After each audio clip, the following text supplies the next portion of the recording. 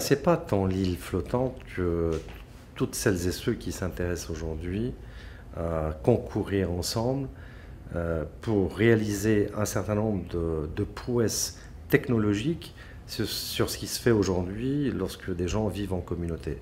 Par exemple, comment on traite les déchets, comment on fabrique de l'électricité à partir des déchets, euh, comment est-ce qu'on tire de l'énergie euh, à partir de la mer, même si de ce côté-là, dans des hôtels, nous avons déjà des systèmes de climatisation.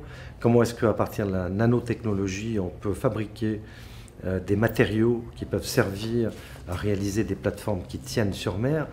Donc, si vous voulez, cette idée d'île flottante, c'est le fait de faire concourir un certain nombre d'universités aux États-Unis, UCLA, Berkeley et d'autres universités sur l'Est ou sur l'Ouest des États-Unis, de même que des industriels qui s'intéressent à ce sujet pour mettre en place tout ce qu'on peut connaître aujourd'hui et, faire profiter la Polynésie française, parce que euh, ce sont aussi euh, nos îles euh, qui ont besoin euh, de trouver des solutions, notamment sur le plan du traitement des déchets. Alors justement, qu'est-ce que ça va pouvoir apporter concrètement à notre pays? Ben, Une meilleure vie, euh, simplement parce que nous n'avons pas aujourd'hui euh, de solution à, tous les problèmes que l'on rencontre. C'est de faire en sorte que demain aussi, par rapport à la situation climatique, nous ayons des solutions à apporter au monde. On pense à nous en Polynésie, mais il y a d'autres parties du monde qui risquent euh, au travers de la montée des eaux. Donc la Polynésie est euh, la destination où finalement euh, toutes ces intelligences sont en train de regarder parce que nous acceptons de travailler avec eux. C'est quand même extraordinaire. Nous allons avoir demain des chercheurs, des scientifiques, euh, des industriels, des gens qui ont la capacité financière de pouvoir faire des choses chez nous, et puis nous serions là en train de les regarder en se disant simplement ça ne nous intéresse pas. Bien sûr que ça nous, ça nous intéresse, et c'est pour ça que le président et tout le gouvernement euh, souhaitent que nous puissions passer euh, toute cette année à étudier la faisabilité d'un tel projet. Pourquoi la Polynésie? Pourquoi ils ont jeté leur dévolu sur notre pays? Crois que la Polynésie, c'est euh, ce havre euh, où les choses euh, sont rendues possibles. Vous savez, c'est la frontière bleue, c'est ce grand Pacifique. C'est aussi un pays qui a su montrer que sa population souhaite aller de l'avant. Si ça se passe aujourd'hui ici, c'est parce qu'il y a aussi des interlocuteurs qui sachent écouter. Euh, vous l'avez vu, euh, il y a un certain scepticisme d'une partie de la population sur ce projet, puisque d'autres projets précédents n'ont pas vu le jour. Est-ce que vous pouvez rassurer euh, les téléspectateurs qui vont regarder ce reportage Vous savez, je vais vous dire une chose, c'est peut-être un peu dans le domaine du rêve pour certains.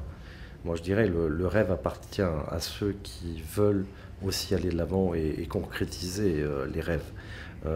beaucoup n'imaginaient pas que demain on marcherait sur la Lune. Euh, d'autres n'imaginent pas aujourd'hui qu'on peut faire des voyages euh, sur Mars. Euh, d'autres ne peuvent pas imaginer que demain, on pourrait trouver des solutions aux îles et au vécu de nos communautés dans les îles, ni de pouvoir construire des plateformes sur un océan. Hein, sachant que demain nous serons peut-être 10 milliards, 11 milliards et 12 milliards d'habitants.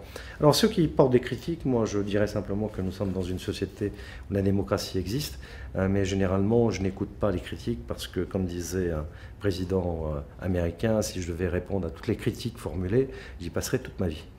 Par rapport au calendrier, c'est possible de savoir quelles sont les prochaines étapes? Vous avez, euh, vous avez signé un protocole? Vous vous donnez un an maintenant pour euh, faire une étude de faisabilité ben, On donne un an, oui, bien sûr. Ce n'est pas Jean-Christophe Bouissot qui donne un an, c'est le gouvernement euh, pour étudier, comme je disais, la faisabilité sur le plan euh, des aspects réglementaires, sur l'impact sur l'environnement, sur le, traitement effectivement des, des, déchets dans ces ensembles-là. c'est également sur les aspects économiques et les aspects fiscaux. Donc avant même de se lancer dans un projet, vous savez, ces gens euh, qui ont de l'argent ne sont pas des gens qui mettent leur argent par la fenêtre. Ils veulent savoir exactement quelle est la faisabilité d'un tel projet et si c'est faisable. Alors à ce moment-là, ça devient un mix entre eux, euh, Silicon Valley, euh, grande diversité américaine, les industriels et puis la Polynésie, les jeunes qui ont envie de s'investir dans tous ces domaines de la recherche.